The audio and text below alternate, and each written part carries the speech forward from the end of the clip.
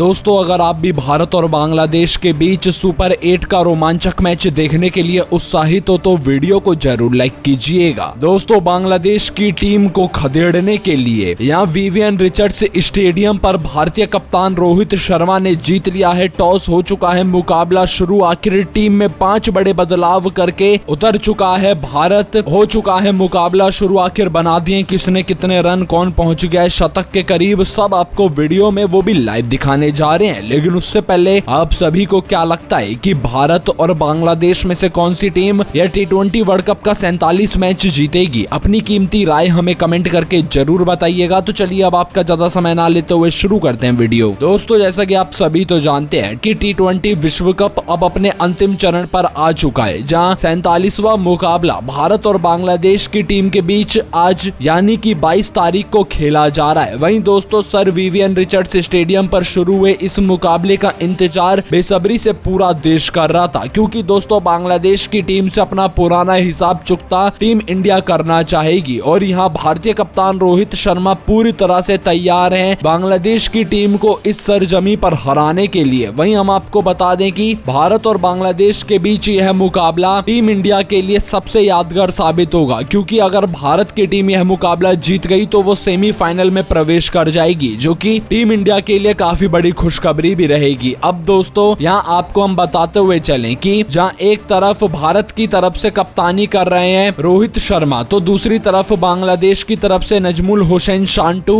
अपनी टीम को किसी भी हाल में जिताना चाहेंगे वहीं अगर बात की जाए मैच के बारे में तो दोस्तों अगर आप भी भारत और बांग्लादेश के बीच यह मुकाबला अभी लाइव देखना चाहते हो तो स्टार स्पोर्ट्स नेटवर्क के चैनल पर यह मुकाबला दिखाया जा रहा है और अगर आपको मैच की ऑनलाइन स्ट्रीमिंग देखनी है तो वो हॉटस्टार ऐप पर दिखाई जा रही है जहाँ आप सभी से रोमांचक मैच का आनंद उठा सकते हो वहीं बात करें अगर मैच के बारे में तो दोस्तों यहाँ पर भारतीय कप्तान रोहित शर्मा इस पिच का मिजाज देखते हुए टॉस कर पहले बल्लेबाजी करने का फैसला कर सकते हैं क्यूँकी दोस्तों यहाँ पर अगर भारत की टीम पहले बल्लेबाजी करते हुए बांग्लादेश के खिलाफ एक सौ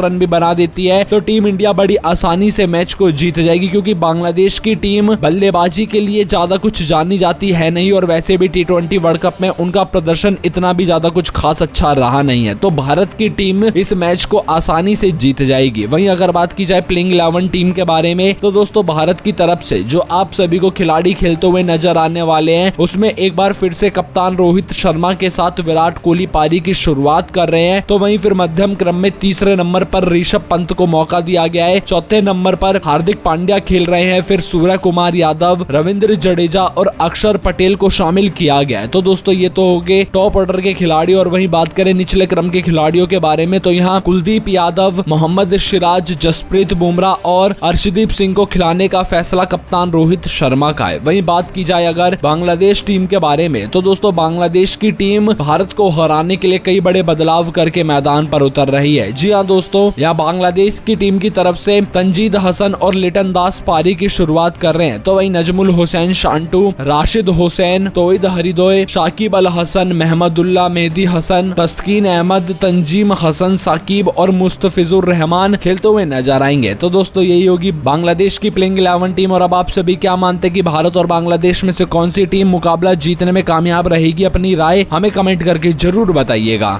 उम्मीद है आपको दिखाई हुई जानकारी पसंद आई होगी वीडियो अच्छा लगा हो तो वीडियो को लाइक करना चैनल को सब्सक्राइब करना तब तक के लिए जय हिंद जय भारत